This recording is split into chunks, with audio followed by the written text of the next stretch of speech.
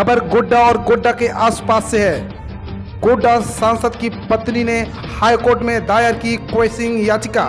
गोड्डा सांसद डॉक्टर निष्कांत दुबे की पत्नी अनामिका गौतम ने झारखंड हाईकोर्ट में क्वेसिंग याचिका दायर की है।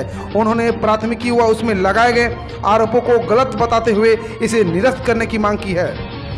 कहल गाँव में 40 फीट का हस्ताक्षर पत्र गोड्डा सांसद को सौंपा।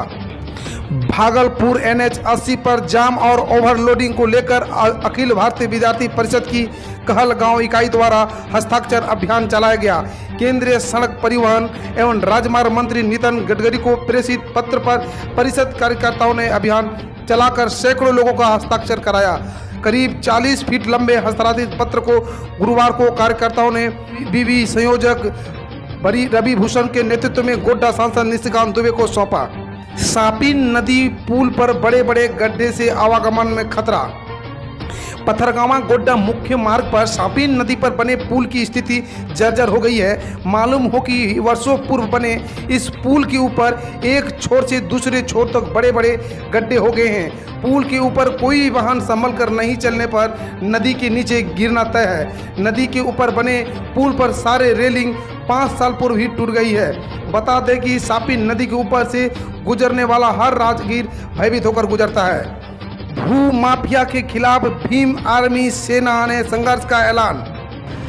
ज़िले के महागामा अंचल अंतर्गत महागामा चौक में केसर ए हिंद की ज़मीन पर कब्जा करने वाले भू माफिया के खिलाफ भीम आर्मी ने संघर्ष का ऐलान किया है। खबर अनुमंडल कार्यालय से, गोड्डा में बतौर नए अनुमंडल पदाधिकारी आई एस ऋतुराज ने अपना पदभार संभाल लिया है। निवर्तमान अनुमंडल पदाधिकारी संजय पीएम कुजरू ने उन्हें पदभार सौंपा। इस दौरान दोनों अधिकारियों ने एक दूसरे को गुलदस्ता देकर शुभकामनाएँ दी।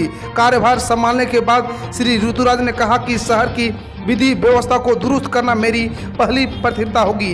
ऋतुराज ने कोरोना को देखते हुए ज़िले वासियों से आग्रह किया है कि बिना मास्क के अपने घरों से नहीं निकले, साथ ही सोशल डिस्टेंसिंग का अनुपालन करें। वाहन चलाते समय भी मास्क का प्रयोग करें, अवश्य करें। साथ ही ट्रैफ़िक के नियमों का अनुपालन करना सुनिश्चित करें। आदवी दुष्कर्म मामले में नाबालिग तीसरा आरोपी गिरफ़्तार, भेजा गया दुमका बाल सुधार गृह।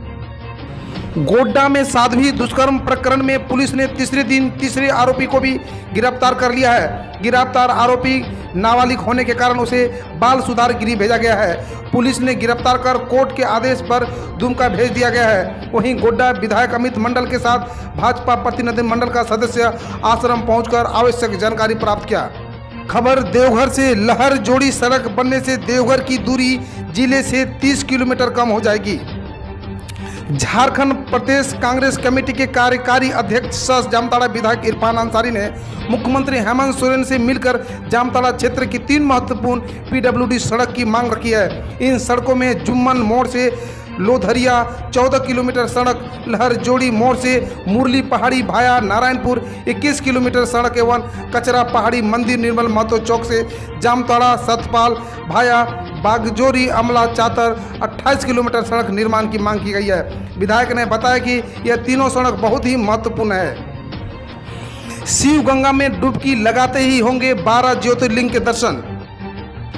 बाबा नगरी में हर दिन बड़ी संख्या में श्रद्धालु पूजा अर्चना करने पहुँचते हैं। हालाँकि लॉकडाउन की वजह से इन दिनों भक्तों का आना जाना लगभग ना के बराबर है, जबकि श्रावणी मेला के दौरान लाखों की संख्या में शिव भक्त जलापन करने बाबा धाम पहुँचते हैं। यहाँ आने वाले अमूमन हर श्रद्धालु पवित्र शिवगंगा में डुबकी लगाना नहीं भूलते हैं। यहाँ स्नान करने के बाद बाबा मंदिर में प्रवेश करते हैं। आने वाले समय में शिवगंगा भक्तों के लिए केवल आस्था से ही जुड़ा नहीं रहेगा, बल्कि यहाँ आने वाले हर श्रद्धालुओं को सौंदर्य की सुखद अनुभूति भी कराया जाएगा। शिवगंगा पहुँचते ही श्रद्धालुओं को न केवल बारह ज्योतिर्लिंग के दर्शन होंगे, बल्कि उनके बैठने से स्थान को भी सुकून होगा।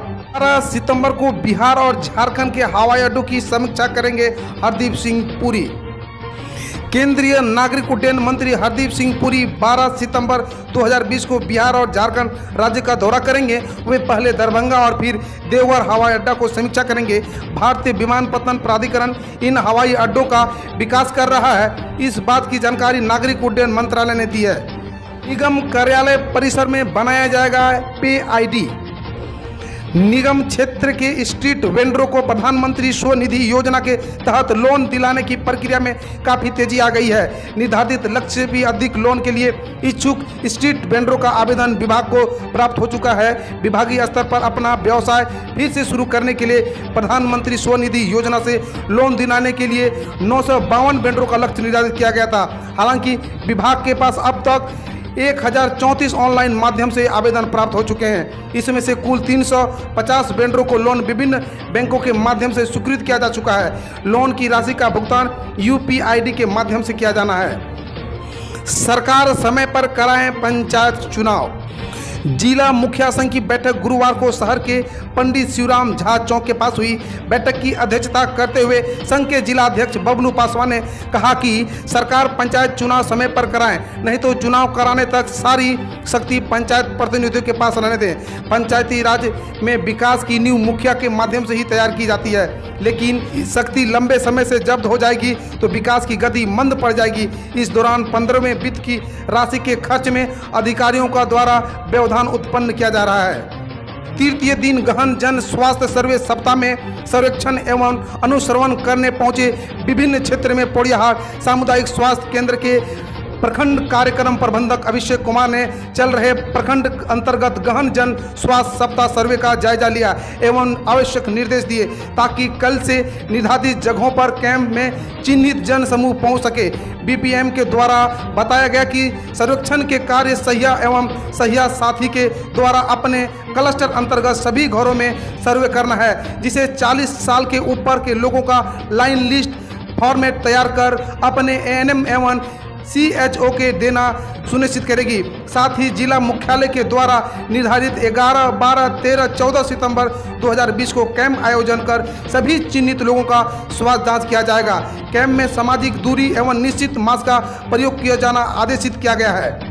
हम रोज ऐसे ही न्यूज़ लाते रहेंगे। तो यदि आपने अभी तक क्लीन न्यूज़ को सब्सक्राइब नहीं किया है तो पहले फटाफट सब्सक्राइब कर लें। साथ ही बेल आइकन को दबा दें ताकि कोई अपडेट मिस ना हो।